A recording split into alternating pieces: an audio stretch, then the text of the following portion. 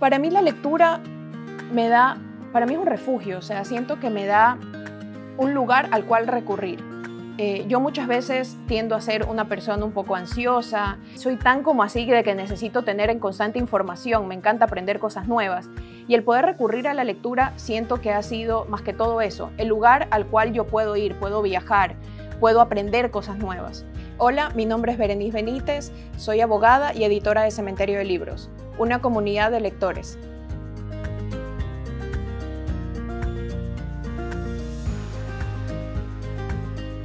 Nosotros principalmente lo que queremos quitar es el prejuicio que tiene la gente respecto a distintos géneros de los libros.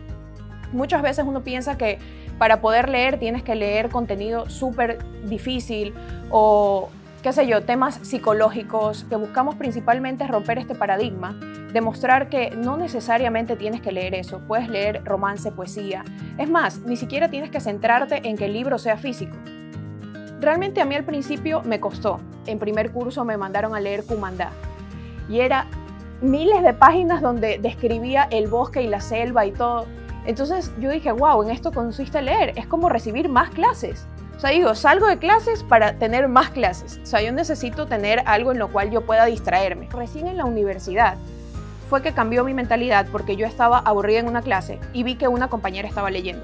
Entonces fue como que, ok, en vez de escuchar esta clase aburrida, déjame ver por qué está tan interesada ella en el libro, porque yo no entendía cómo ella estaba literal que se comía las páginas.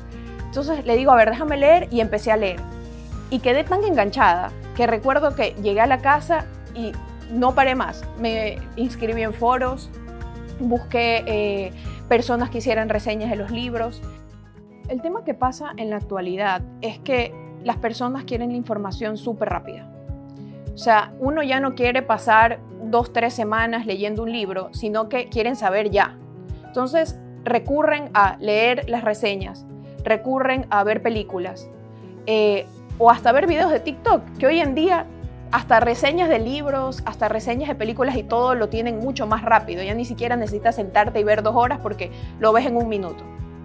Entonces yo creo que ese es el principal problema que tenemos en la actualidad.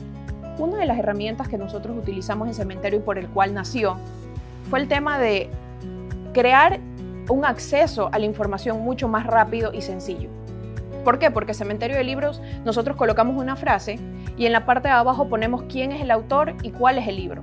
Y es más, también agregamos dónde fue enviada la imagen. Si yo, por ejemplo, estoy pasando súper rápido, que está comprobado que nosotros tenemos la atención 5 segundos, y si 5 segundos no capta la atención, nosotros pasamos en las redes sociales. Entonces, si tú pones una frase corta y capaz estás pasando por determinado momento y esa frase te llega, que capaz para ti no es nada, pero yo puedo estar llorando por esa frase porque me llega. Yo leo el autor, leo el libro y de esa forma te incentiva a que tú recurras a más. Y después de ese libro que has enganchado y quieres la segunda parte y capaz quieres leer más del autor. Mi consejo principal es que se conozcan, que descubran, que intenten, Capaz, intenta con este género, no te gusta, prueba otro. Si empiezas a leer un libro, no te llama la atención, no hay problema, déjalo. Anda al siguiente. La mayoría de nuestras seguidoras, 8 de cada 10 seguidoras son mujeres. Y yo creo que el éxito también que hemos tenido como red social en las mujeres es porque las mujeres, primero que somos más sensibles, nosotros también somos mucho más detallistas.